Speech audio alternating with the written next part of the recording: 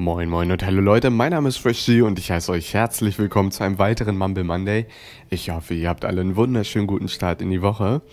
Und heute habe ich glücklicherweise wieder ein Thema von euch. Der gute Vladen oder ihr kennt ihn in den Kommentaren unter hier könnte ihre Werbung stehen, hat geschrieben, dass ich doch einfach mal über Reisen erzählen soll. Was für Länder hast du schon besucht, schreibt er. Wo hat es dir am besten gefallen? Wo am wenigsten? Ist dir im Urlaub schon mal irgendwas total Verrücktes passiert? Oder vielleicht auch auf dem Weg dahin? Und weiter schreibt er auch, dass das jetzt vielleicht nicht das tiefgründigste Video ist, aber dass es ihn einfach mal interessieren würde. Und um Gottes Willen, ihr sollt nicht verkrampft danach suchen, irgendwas Tiefgründiges zu finden, worüber ich reden kann. Nur weil ich so ein Thema manchmal wähle, heißt es ja nicht, dass ich mich nicht gerne auch mit anderen Sachen beschäftige. Ne?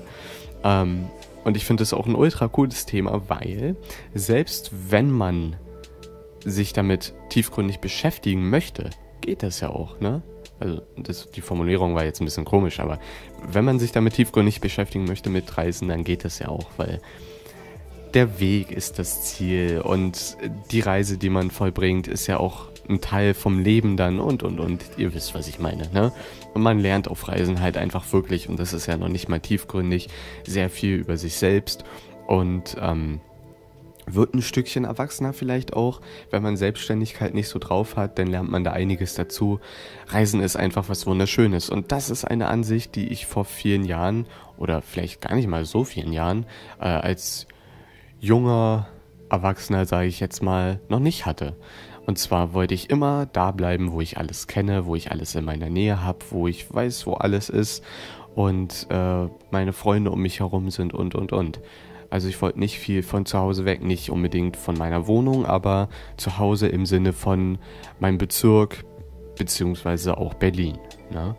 Und ähm, unsere Großeltern, also ich habe noch einen Bruder, deswegen sage ich unsere Großeltern, haben mich äh, und ihn immer wieder aus Berlin rausgebracht an verschiedene Orte, so Dörfer, wozu man halt zur Zeit von äh, der Trennung von Ost und West auch nicht hin konnte. Und gerade deswegen war das halt auch eine Sache, die sie sehr gerne gemacht haben. Und ähm, außerdem halt auch viele kleine Reisen so nach Bayern, Dortmund, Frankfurt am Main, Köln, Hamburg, ähm, früher viel in den Schwarzwald, weil ein großer Teil meiner Familie da lebt. Natürlich auch immer in den Europapark, das war auch immer ein Highlight. Ähm, aber auch viel da gewandert, viel auf kleinere Berge rauf. Ja, sind es schon Berge oder Hügel? Ja, man kann schon Berge sagen. Ähm, und das, das war was, was mir immer schon Spaß gemacht hat, in der Natur zu sein. Aber so richtig Klick gemacht hat es erst im letzten Jahr, im Sommer 2015, im August, war ich mit drei Freunden von mir äh, in der Schweiz.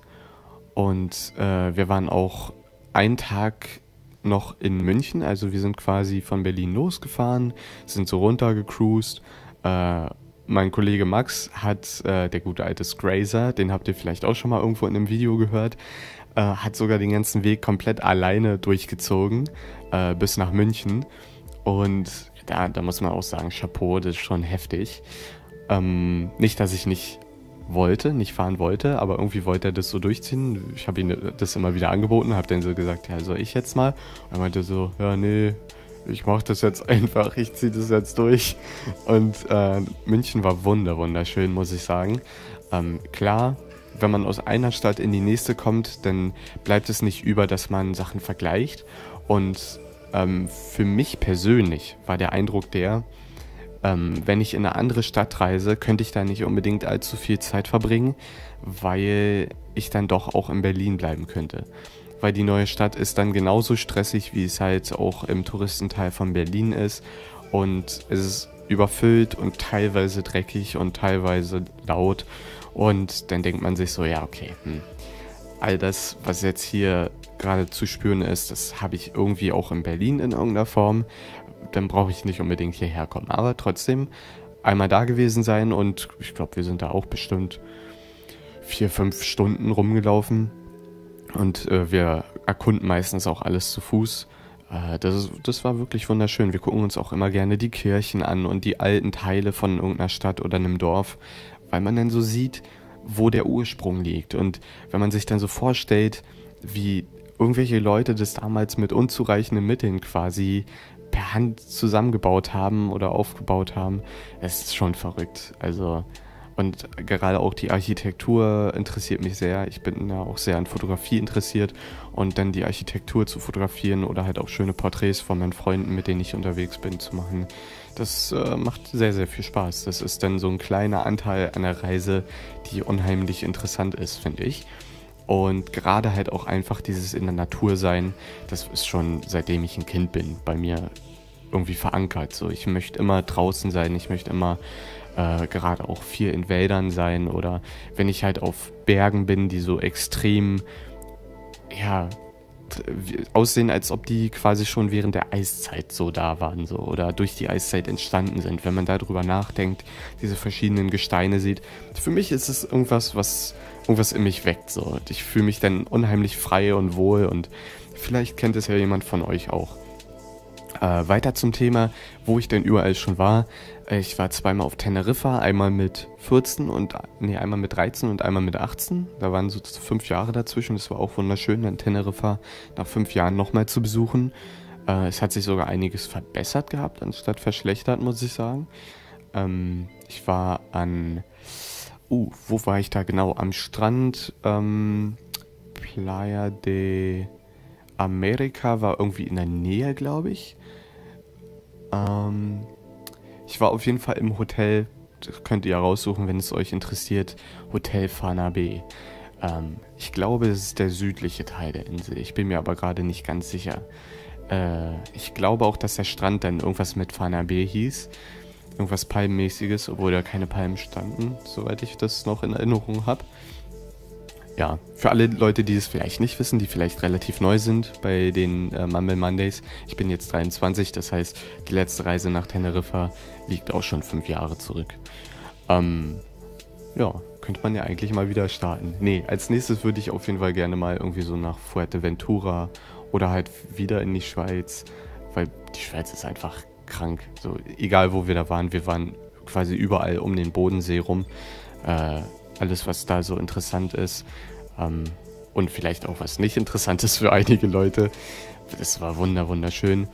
Was Verrücktes, was mal passiert ist, ist schwer zu sagen, weil so richtig verrückte Sachen sind nicht passiert, aber ich glaube zu sagen zu können, dass das, was wir auf der Rückreise gemacht hatten, schon relativ verrückt war. Und zwar äh, wollten wir noch einen Zwischenstopp in einer anderen Stadt äh, einlegen. Ich habe jetzt ganz vergessen, wie die Stadt heißt. Und zwar ähm, sind da wichtige Gerichtshöfe. Und da die zwei Freundinnen, die mit waren, Jura studieren, war das für die halt ein Highlight, sich das anzugucken. Und es war ja auch interessant, sich mal so was Wichtiges anzugucken. Da standen dann draußen Polizisten rum mit MP5s und so ein Kram. Also es war schon gut gesichert. Und ähm, hatte auch eine schöne Architektur. Und dann haben wir gemerkt, dass wir das so schnell gar nicht zurück nach Berlin schaffen, dass wir dann quasi komplett in die Nacht reinfahren würden.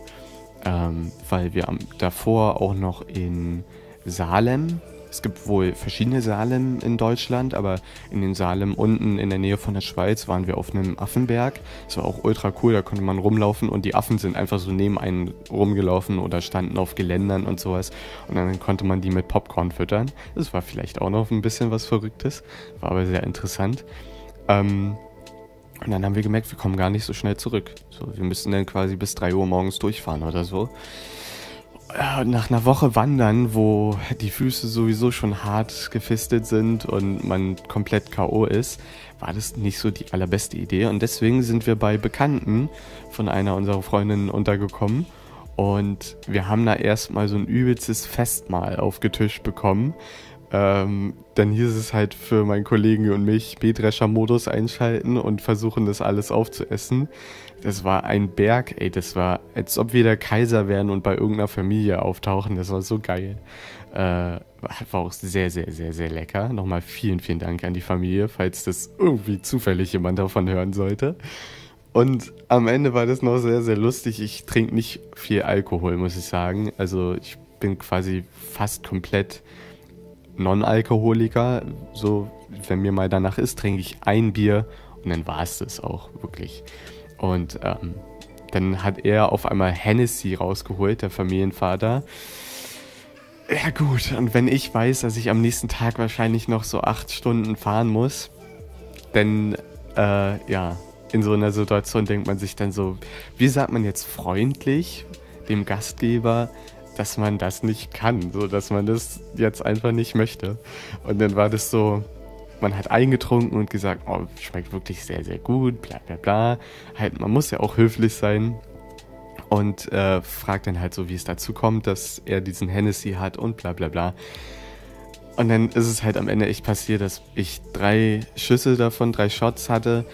Und äh, mein Kollege und er haben aber noch ein bisschen weitergemacht, weil es war halt irgendwie so eine doofe Situation, wo man es nicht ausschlagen konnte. Und am Ende, die Mädels hatten sich vom Bett fertig gemacht und so und bla, wir kommen dann halt irgendwann nach und dann heißt es dann so, äh, Gideon bist besoffen und so. Aber ich war wirklich kein bisschen angetrunken, weil ich habe so viel gegessen einfach. Da haben die drei Shots nichts ausgerichtet, kein bisschen. Vielleicht hätte es ja über Zeit dann irgendwann eine Auswirkung gehabt, aber wir haben ja danach direkt geschlafen. Von daher Vielleicht war ich im Schlaf besoffen. Keine Ahnung. Ich weiß auch nicht, ob ich so schnell besoffen werden kann. Ich war noch nie in meinem Leben so richtig. Das ist vielleicht auch eine Story, die ich erzählen kann. Es ist jetzt, ich weiß nicht, ob man das als Reise ansehen kann, dass wir nach Oschersleben gefahren sind und da halt unsere Renntage hatten und dann zurückgekommen sind. Wir haben halt den ganzen Tag nichts gegessen außer Frühstück und dann waren halt noch ein paar Rennen zu machen. Und dann mussten wir die Box komplett aufräumen, alles wieder zusammenpacken, zurück in LKW und dann hieß es halt wieder zurück nach Berlin. Und äh, als wir dann hier angekommen sind, haben wir alle kein Mittagessen gehabt. Es ist schon abends um 19 Uhr, 20 Uhr gewesen oder sowas. Wenn man morgens um 7 Uhr aufgestanden ist und angefangen hat zu arbeiten, dann ist es schon ja viel Zeit, wenn man nur ein Frühstück hatte, so zwei, drei Brötchen und ein bisschen äh, Ei oder sowas, ne? Und dann den ganzen Tag halt einfach immer nur ein bisschen was genascht hier und da, ne? Und äh, wir gehen zum Griechen. Das ist ein Grieche, wo wir quasi Stammgäste waren, beziehungsweise die Familie von meinem Freund Max. Und ähm, dann hieß es halt einfach, hier ein Uso, da ein Uso, noch ein Uso, noch ein Uso. Und ich wusste nicht, dass die uns so krass zuknallen mit Uso und hatte mir dann halt wirklich ein Bier bestellt. So. Und dann trinken wir das alles auf und halt den ganzen Tag nichts gegessen, während, während wir da sind, halt beim Griechen ein bisschen was gegessen, aber das kam dann alles so gleichzeitig in den Körper. Und dann war das einfach so, wow, Mensch, du bist ja müde, du bist erschöpft, du hast gerade Alkohol zu dir genommen, du hast den ganzen Tag nichts gegessen, dein Körper weiß gerade überhaupt nicht, was er damit anfangen soll. Und dann war das so, dass ich extrem müde geworden bin und dann, das war so, ich weiß nicht, ob ich angetrunken war oder ob ich nur sehr, sehr müde war. Also, äh, ja, so viel dazu. Mal kurze Confession sozusagen. Aber gut, da war ich. War ich 22 oder 21? Ich glaube 21. Ja, ich glaube 21. Ich bin mir jetzt nicht mehr ganz sicher. Also, das war so das erste Mal für mich. Äh, ich weiß, für viele ist es wahrscheinlich lächerlich, weil das bei vielen schon mit 13 oder 14 angefangen hat. Bei mir war das irgendwie nie so. Aber kommen wir zurück zum Thema Reisen an sich, obwohl das ja halt dazugehört irgendwie, ne, mit den Geschichten, die man da so erlebt. In Griechenland ist ein Ultra-Regensturm äh, und Donnersturm angekommen. Äh, irgendjemand ist in Seeigel reingetreten und die Tage darauf ging es mir extrem schlecht. Ich war viel zu jung, um mich noch an schöne Sachen zu erinnern, komischerweise. Mein Hirn hat nur die schlechten Sachen abgespeichert. Ich glaube, ich war da. Jetzt muss ich lügen. Vier oder so. Und äh, dann ging es mir die Tage darauf extrem schlecht. Mir war nur übel. Und irgendwie kann ich mich halt nur an diese schlechten Sachen erinnern, dass der Sturm da irgendwie die Zelte weggerissen hat und sowas vom Strand. Und ja, äh, aber so richtig komplett verrückte Sachen, dass mal so Sachen, die einen manchmal Leute erzählen, dass sie irgendwo in der Wüste stecken geblieben sind mit einem Auto oder sowas. Sowas ist mir noch nie passiert. Liegt vielleicht auch daran, dass wir halt immer relativ gut planen, wenn was unternommen wird. Erst recht, wenn man mit seinen Großeltern und Eltern verreist, dann weiß man ja meistens, also wenn man eine normale Familie hat, dass alles halt so typisch deutsch komplett durchgeplant ist. Und meistens geht ja dann auch nichts Großes schief oder wenn was schief geht, hat man Plan B leider kann ich da nicht so allzu krasse Sachen erzählen. Ähm, ja, aber in der Schweiz muss ich eine Sache noch erzählen, so abschließend.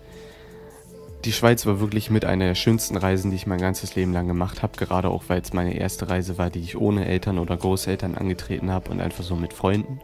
Und auch wenn wir wirklich sehr, sehr viel gemacht haben und wir wirklich um 9 Uhr morgens aufgestanden sind, meistens so gemütlich um 10 Uhr aus dem Haus sind und dann bis abends 21 Uhr komplett unterwegs waren, zählt mal ab 10 Uhr noch eine halbe bis 45 Minuten, äh, halbe Stunde bis 45 Minuten Fahrt dazu.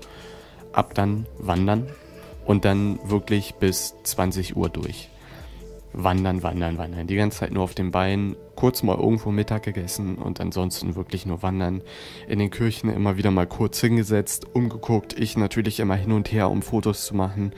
Und äh, dann wirklich um 21 Uhr ist man das erste Mal wieder zu Hause. Wir hatten so ein Airbnb gemietet für eine Woche und dann kocht man quasi das Nötigste. Bei uns war das meistens Nudeln mit Tomatensauce, weil wir keine Lust hatten, noch mehr zu machen. Am vorletzten Tag oder sowas hatten wir dann nochmal übelst viel, viel Fleisch gekauft und Fleisch gekocht und quasi dann so den letzten Tag nochmal so mit gefeiert. Aber äh, ansonsten war das wirklich sehr, sehr viel, was wir zu tun hatten. Und an einem Tag waren wir auf einem Berg, der heißt Sentes. Könnt ihr mal aus dem Internet raussuchen. Ist ein wunderschönes ja, Ziel, um da einfach mal hinzureisen bzw. dort hochzufahren. Und da ist mir so richtig klar geworden, wie wichtig Reisen ist. Man kann einfach in sich gehen, man kann Grenzen austesten, man lernt sich selber kennen. Ich habe mich, wie gesagt, ultra frei gefühlt, gerade auch auf dem Sentes. Man hat quasi den Blick in alle Himmelsrichtungen und es geht unendlich weit. Äh, der Himmel ist aufgeklärt, während wir dann oben waren und dann war alles frei zu sehen wenn man so unter sich guckt und in der Ferne so einen See sieht, der auf einmal aussieht wie eine Tümpelpfütze, dann ist das einfach unglaublich. Und gerade auch so dieses, wenn man weiß, links und rechts ist der Abhang und wenn man jetzt einen Schritt zu viel macht, dann ist halt wirklich Ende. Äh, das ist schon sehr, sehr nice. Übrigens, falls ihr ein paar schöne Bilder vom Sentes oder auch aus der Schweiz sehen wollt, ich habe äh, sehr viele Bilder davon auf meinen Instagram hochgeladen. Äh, ich kann euch ja mal den Link in die Beschreibung packen. Wunderschöner Ort auf jeden Fall, um hinzureisen. Auch der Ort, wo wir waren, hieß St. Gallen. Richtig schön, richtig urig, richtig alt. Äh, sehr viele Studenten auch dort. Äh, und der Student, der uns seine Wohnung vermietet hat, meinte, ja, entweder man ist in St. Gallen, um zu studieren, oder man ist eben nicht dort.